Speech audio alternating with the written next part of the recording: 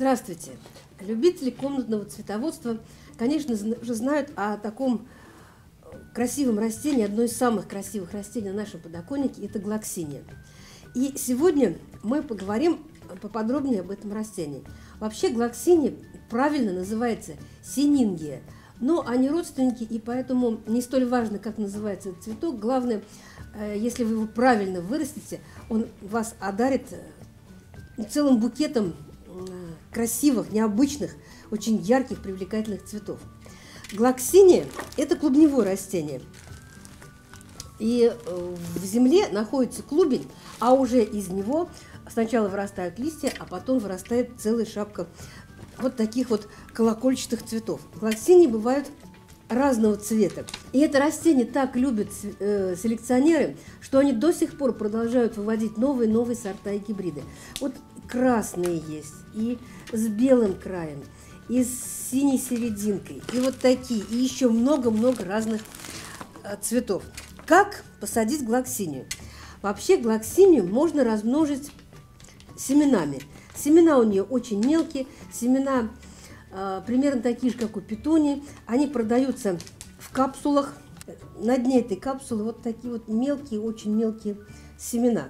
Если вы будете сажать глоксинию семенами, то зацветет она на второй год, потому что в первый год у нее образуется клубень, а уже цветки появятся на следующий год. Еще в продаже э, есть глоксинии и клубнями. Клубни глоксини обычно продаются в полиэтиленовых пакетах вот с небольшими дырочками, и обязательно они должны быть засыпаны опилками, чтобы клубень не пересох. Клубню глоксинию сажать лучше всего, потому что уже в этом году она зацветет и покроется целой шапкой э, красивых крупных цветков. Сейчас посмотрим, какой же он клубень глоксинии. Когда будете выбирать, какой вам клубень купить, обращайте внимание на то, что клубень должен быть твердым, таким плотным, не мягким, не сморщенным, вот здесь мы уже видим на верхушке клубня начали проклевываться росточки.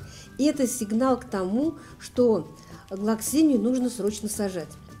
Вообще это растение интересно тем, что оно э, растет весна, лето, осень, а на зиму надземная часть отмирает и растение уходит в спячку.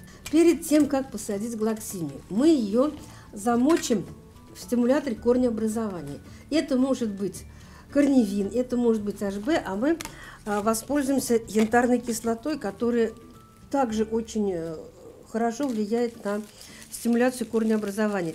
Вот на этот маленький стакан надо прям вот маленькую щепоточку янтарной кислоты, чуть-чуть. Она очень хорошо разводится в воде. И помещаем клубень. Но помещаем так, чтобы вот эта вот верхняя часть водой залита не была у глоксини мелко опушенные листья. И там задерживается вода, и вообще у всех мелко опушенных растений нельзя листья смачивать, иначе возникнет риск загнивания листьев. И вот так она у нас пусть позамачивается где-то минут 20. Пока замачивается клубень глоксини, приготовим горшок и землю. Корневая система глоксинии не длинная и э, залегает не глубоко, но она больше распространяется в ширину. И вообще растение довольно-таки крупное в диаметре. Оно невысокое, но оно как-то так вот шапкой, и нижние листья у него, у него э, длинные. Поэтому, когда выбираете горшок для глоксинии, отдавайте предпочтение не глубокому, но широкому горшку. На дно обязательно дренаж, обязательно должны быть дренажные отверстия. Землю выбираем а, близкую к нейтральной, но немножечко слабокислой. Это может быть и универсальная земля для всех э, цветущих растений. И есть еще специальная земля э, для фиалок. Как раз вот в эту землю хорошо сажать глоксинии. И насыпаем нашу землю в горшок практически до верха. Земля должна быть рыхлой, земля должна быть легкой, чтобы не было застоя воды в горшке, потому что любой застой воды приводит к загниванию корней. Вот земля такая вот торфяная, хорошая, она очень подойдет для посадки глоксиний. Делаем небольшое углубление И теперь главное посадить наш клубень на нужную глубину. Клубень заглубляем максимум на 5-10 миллиметров. Вот так вот. И обязательно заметим, где находится у нас вот это вот, если даже еще не проросло, где у нас находится верхушка клубня. И поливаем.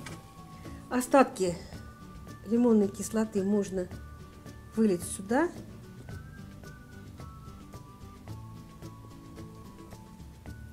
Первое время, пока глоксиния укореняется, полив должен быть умеренным, а затем глоксинию нужно будет поливать хорошо. И ставим вот в таком виде горшок на теплое светлое место. Когда глоксиния укоренится, мы сразу увидим, что ростки пошли в рост.